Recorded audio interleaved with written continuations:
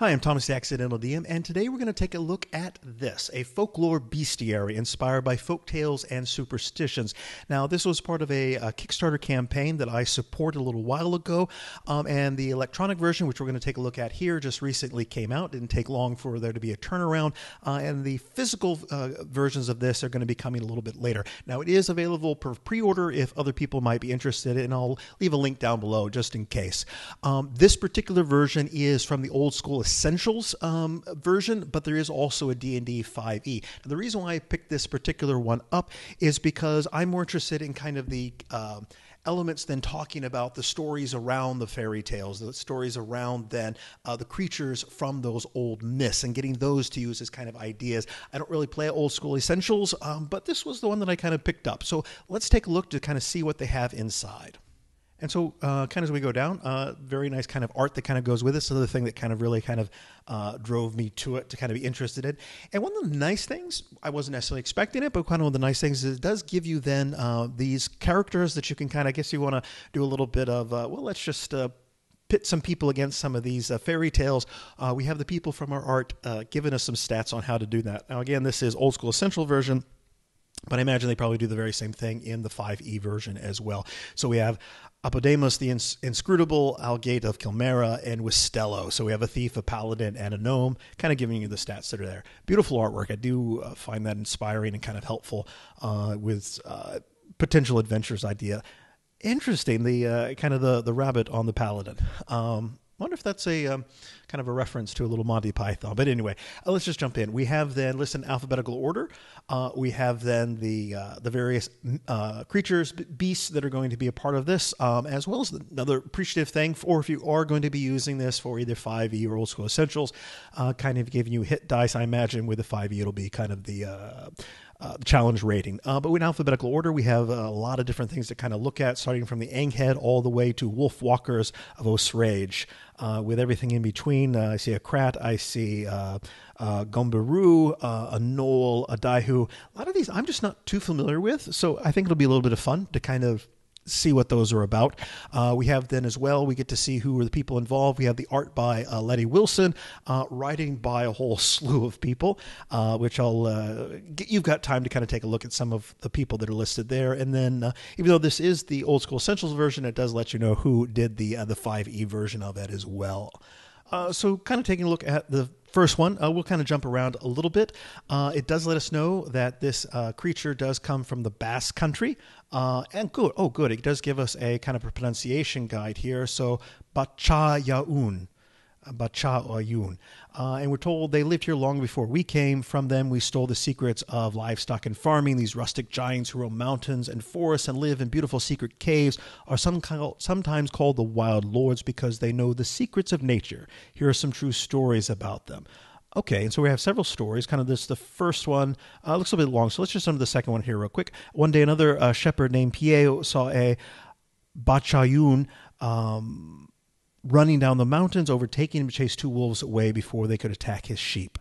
Uh, then we have the same adventure happen to the three Eketo brothers, who, when they saw the Basajaun, um, came in. The youngest jumped under his bed. The middle brother screamed in fright. The oldest brandished an axe. The Basajaun uh, shrugged at his threat, grabbed the man, and cracked his head between his teeth like a nut. So sounds like this is going to be a kind of formidable uh, opponent in a lot of ways. Um, and then we have some uh, more stories. Um, then uh, there is then kind of the, the female version of this as well, the Basandere or the Basajaun females. They're extremely rare, uh, less than one female per 10 males, and their numbers keep declining for reasons unknown. They rarely leave the vicinity of their dens, spending most of their time the sun brushing their hair while singing songs that attract nearby animals. Uh, they give us some names as well.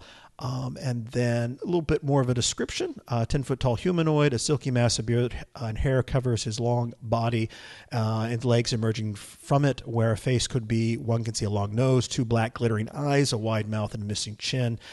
Um, okay. Uh, and then we do have, then, because this is for uh, gaming purposes, does have the sp- stats. Specifically, this one is set up, as I said, for old school essentials.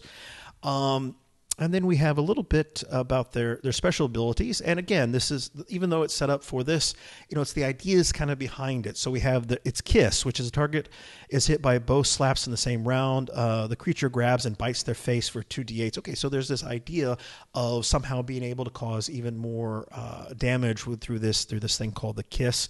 Um, it is mentioned is called the Wild Lord again.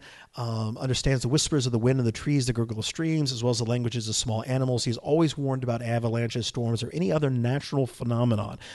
A Basajaun is aware at all times of what is happening in his domain, who is entering or leaving it. Uh, so it's letting us know that this is a creature that it's going to be hard to kind of get a drop on. Uh, and again, we get a lot more of these little bits about them. So for riddles that a secret known to few, uh, are very fond of games. They're also uh, bad at them. So the best they, uh, way to calm an angry Bajun is to ask him a riddle or a charade. Uh, if he misses a, a save versus spell, again, that's just some mechanics that are neither here nor there for us. He stops whatever he's doing and devotes all things energy to the riddle, plunging into an abyss of contentment and confusion so it's a way of distracting um, uh, the Basajaun uh, and kind of moving them away from whatever is they're doing. I think that's a that's a kind of an interesting mechanic that might uh, have some uh, some use and value uh, in games as well. All right, uh, let's just kind of skip through. Okay, so that's kind of the rest of that we do have. It looks like we have another one here, but let's just kind of skip through and stop randomly at another one. Okay, and so kind of just the next one to kind of take a look at then. again, another one from the Basque Country. Um, might be interesting to kind of go through the, the list and see what's all there. Because just these two randoms on the first ones have uh, both been from from Spain, um, and it is pronounced as Batshi. Again, we get a nice little pronunciation guide for us, which is very good. Uh, so Bad Patshi, uh, a master blacksmith living a solitary life in the hills. Okay, so it is said that many years ago there lived in the Basque Country, not far from the Merry Mushroom Mushman headquarters a few those over from Bilbao, a blacksmith named Petakshi Ermenteria.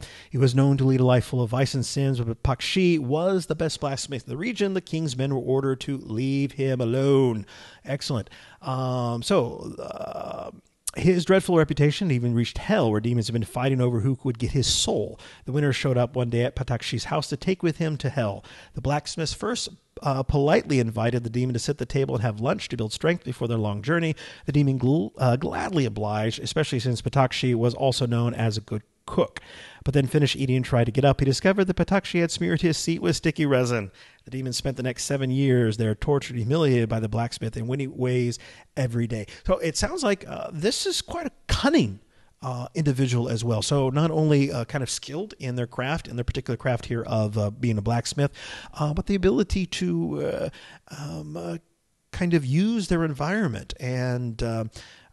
in ways that would be able to kind of trick others, and especially when you're dealing with demons, who, as we know, kind of um, have that ability themselves to kind of be very uh, strict legally in terms of the sense of the way, way, they like to use words and the ways that they kind of understand things.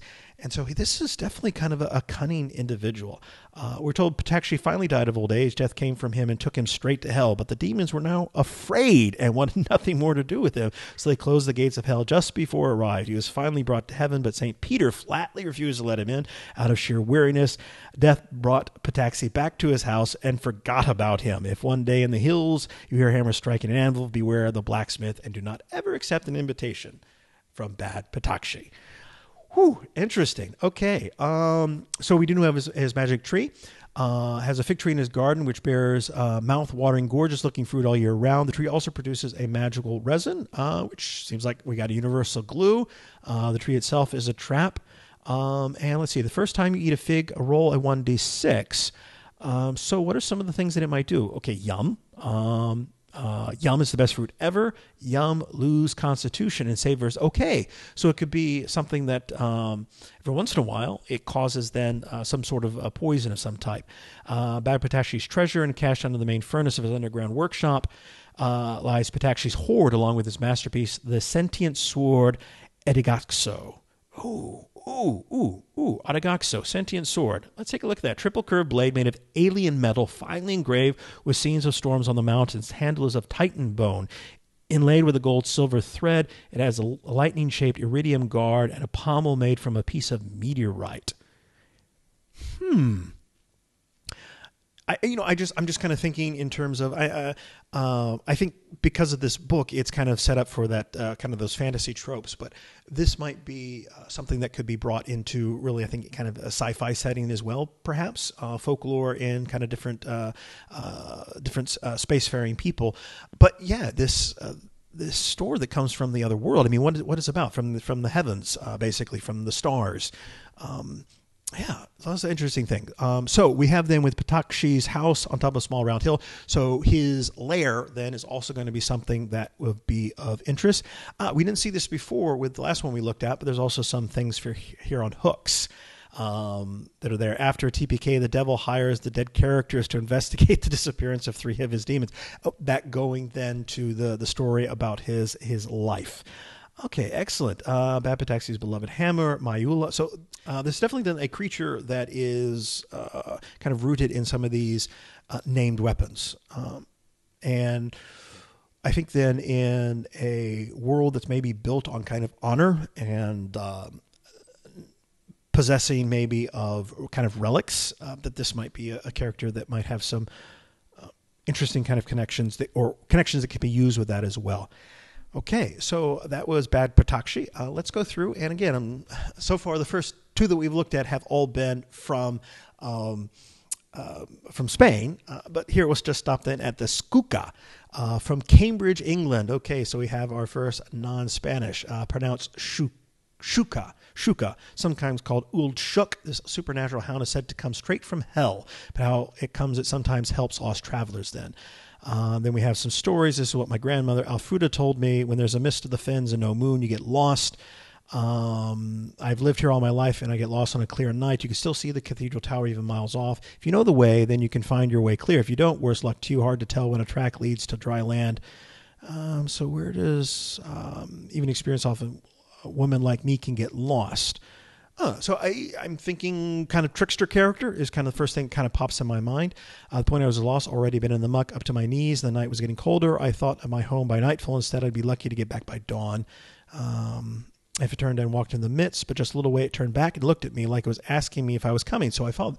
Oh, okay. So not necessarily then a trickster spirit, but maybe one that's kind of a little bit more kind of helpful in terms of uh, its kind of activation. So interesting looking dog. Uh, but again, it says it comes from hell. So let's see. Uh, many different such creatures, all formed from the ghosts of an earthly hound. Each has its own unique motivations and personality, although they have certain traits in common. All right, so they're not all going to be the same. Uh, they're definitely going to kind of vary from uh, animal to animal because they're coming from something that was already. Uh, bred to be helpers in life, the Skuka still has something of this impulse. However, they are also creatures of hell, and the demonic, demonic nature cannot be cannot abide when people call on the powers for aid. A human suffers without calling on a higher power for aid may receive unexpected help from a Suka. A human who prays the divine while in distress may become the monster's prey. Okay, helpful, but a demonic connection. Hmm. Uh, so again, we have some uh, hooks that are given to us. Uh, we're given then some special abilities. Judge of souls. Take a look at that one. The Suka can sense to what degree people are evil. It detects alignments and knows the latest sin of crime of anyone it sees is committed and again whom. Lie detectors, good, bad, interesting. Flaming trail. The Suka leaves a trail of burning paw prints behind it. If it tends to help, these prints can be a useful way to navigate uh, grab. If the Suka hits with a bite attack, it may drag its uh, target up to 20 feet instead of attacking.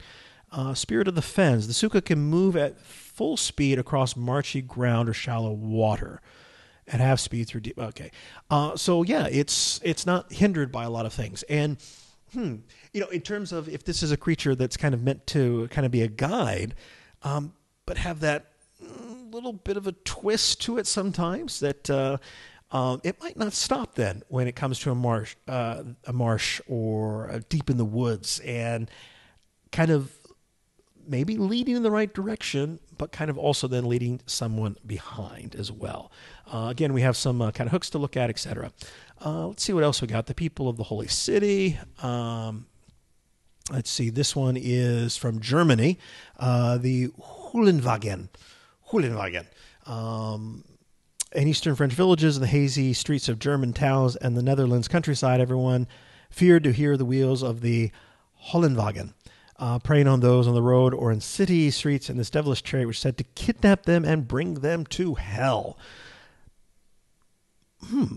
Uh, kind of banshee esque, but uh, reminds me a little bit. Uh, when I was a kid, I remember watching Darby O'Gill and the Little People, and uh, when someone died, there was the, the carriage that came and kind of picked them up. Uh, so definitely, probably not one that you'd want to have, uh, that you'd want to see or hear. So that makes kind of sense why people might be afraid. Um, so let's take a look at some of the stats about it. Again, I'm not interested in the in the stats per se, but let's take a look at some of its special abilities. The crew the screw statistics does not change with their appearance as they just extensions of the Hollenwagen. They're immune to non-magical weapons. Okay, so there's um, creatures that are going to be a part of it. Uh, there's the ghost horse, uh, cannot attack or take damage. Ray horse unjustly sent to hell. Might cooperate with someone able to help them. Hmm. Okay. Again, uh, we've got a little bit of a boom, but also a little bit of a bane happening at the same time. Uh, the wagon itself can only be damaged by blessed weapons and holy water. All right. Uh, what does the wagon look like? A peasant's wagon, a war wagon, a royal looking coach, stagecoach. It could be anything. It could be anything. So it can definitely uh, kind of pop out of anywhere. Who rides it? Demons, goblins, orcs, uh, skeletons, undead peasants, ghosts, berserkers, mummies, Neanderthals, pirates.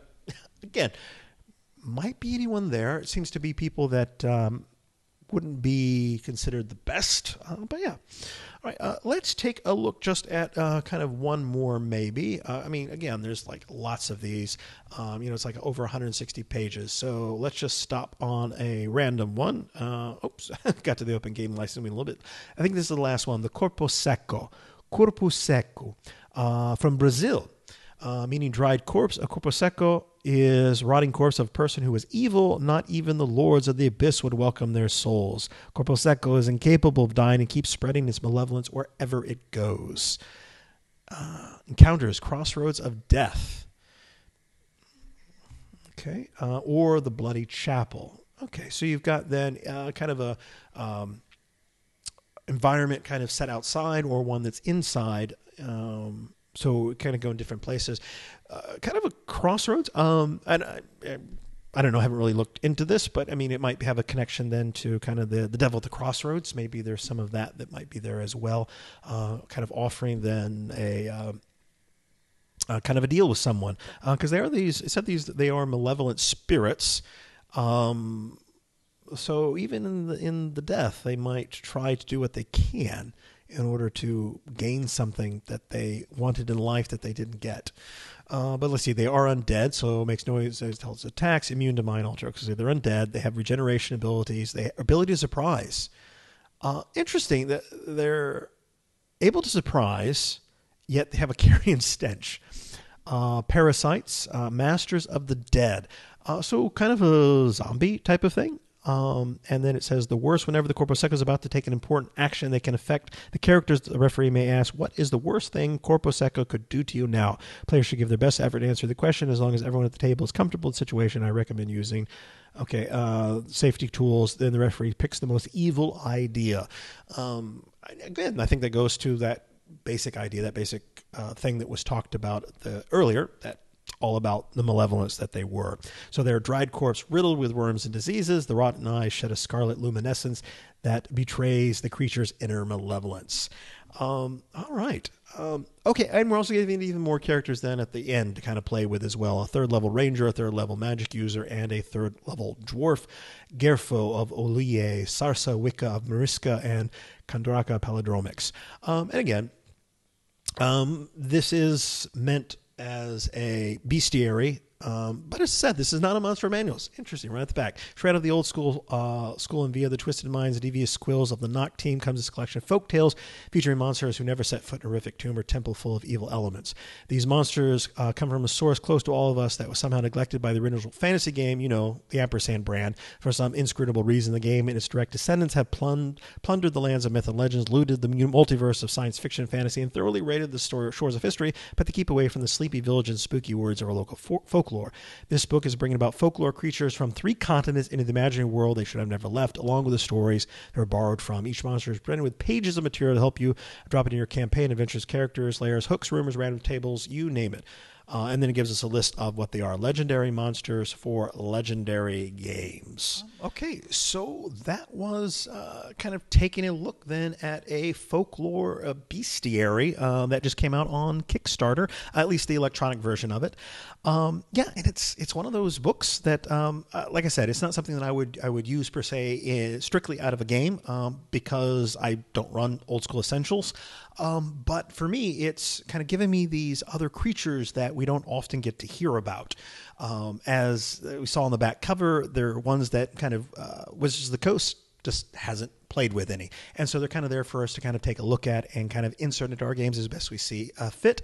Um, and I'm doing a lot more uh, kind of um, uh, kind of gothic horror type of stuff. Uh, Vaesen's kind of my current game of choice. And so things like these, these ideas are something that would uh, very much for me be something that's appealing. So if you're interested in taking a look at it, again, I'll have a uh, link down in the description where you can kind of pre-order uh, from the uh, from the Kickstarter page. Uh, if you have any questions about this book, um, which I haven't, again, this is just kind of my first look. I don't know everything about it, but if you have some questions, maybe uh, pop it down below and we can take a look and answer the best we can. if you did like this video, please give it a thumbs up. Um, thanks for watching, and until next time.